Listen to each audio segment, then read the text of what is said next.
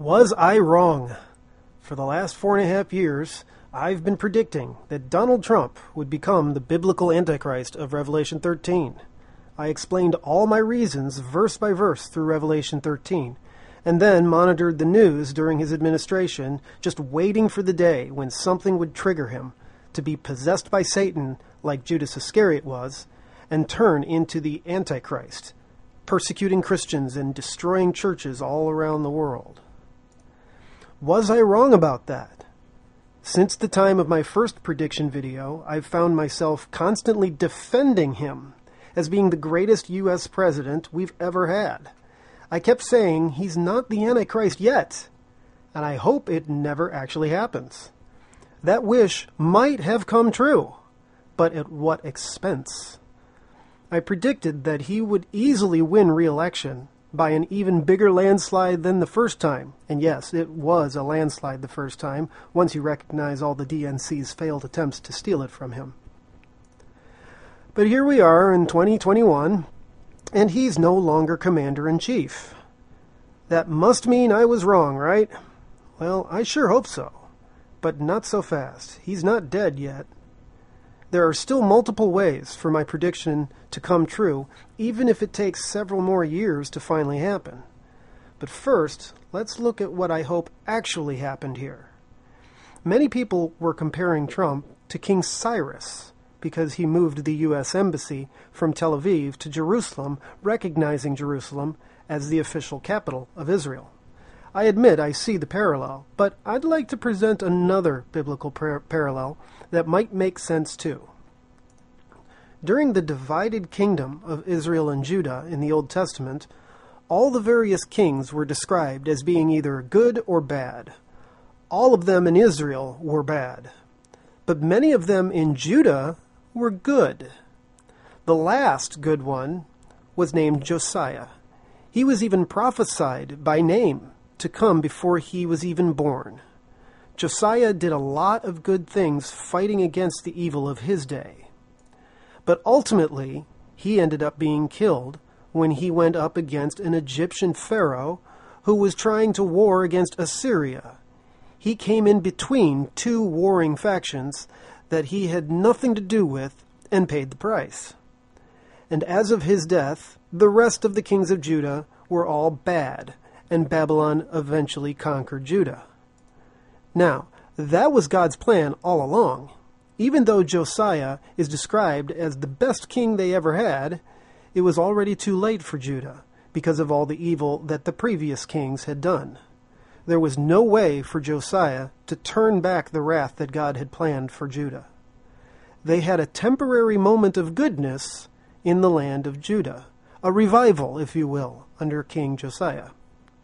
But the hammer was still about to fall no matter what. Assyria defeated the northern tribes of Israel, Egypt took out King Josiah, and Babylon was about to wipe out Judah as a nation. So, what's the parallel here?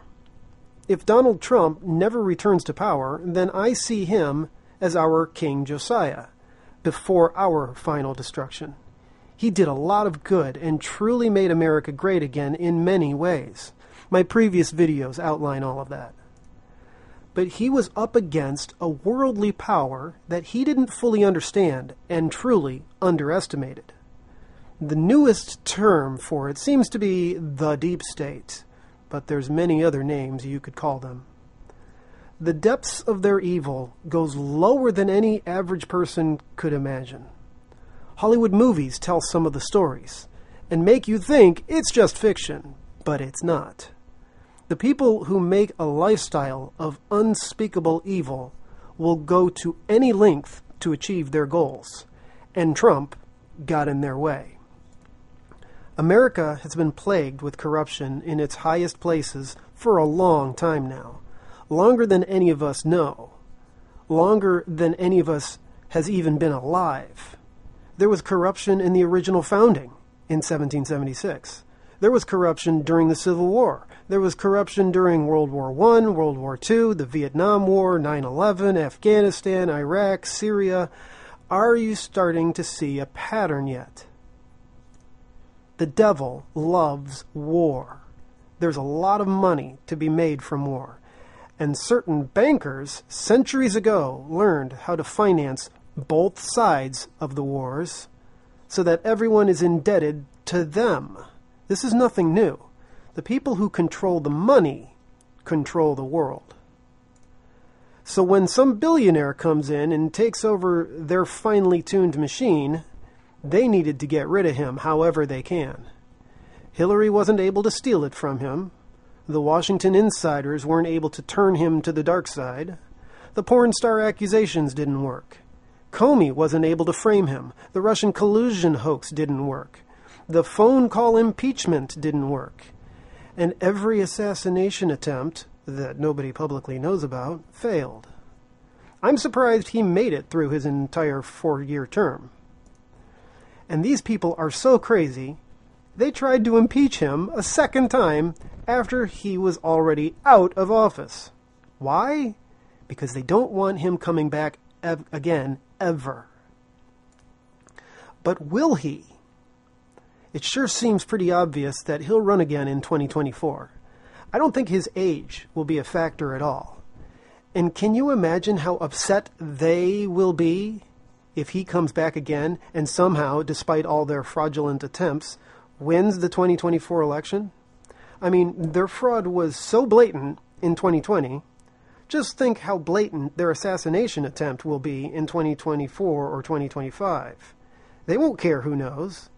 They've mastered the art of plausible deniability.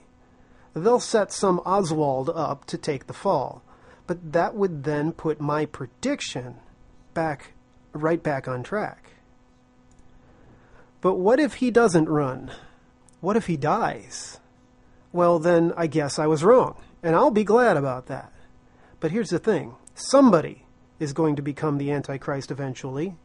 I don't see the guy currently in office becoming the Antichrist. He can barely talk. I don't see him ever claiming to be God. And his second in command isn't a man. And I believe Scripture describes the Antichrist as a man. So, will the Antichrist come out of the deep state? Someone we don't know yet? They certainly are anti Christian enough, that's for sure. But I just can't see the majority of people willingly bowing down to anyone in the deep state. And it seems the Antichrist will be loved by everyone. Well, almost everyone. We Christians will never accept him. Now, how about this? What if I was wrong about which Trump it would be? The Bible mentions the last Trump, which means there was a first Trump. Yes, I believe that's talking about the seven trumpets of Revelation, but still, if Donald Trump is a parallel of Josiah, maybe it's the children of Donald Trump who end up being a parallel to Josiah's evil children. My eye is obviously on Don Jr. But who knows? At this point, my expected timeline has been interrupted. What if it's Eric? What if it's Barron? That I have to doubt because he wouldn't be eligible to become president until 2045. And considering Jesus was here around 32 AD, I'm also expecting his return to be approximately 2,000 years later at the most. So who knows? Maybe the winner of the 2028 election is our future Antichrist. Will it be someone named Trump?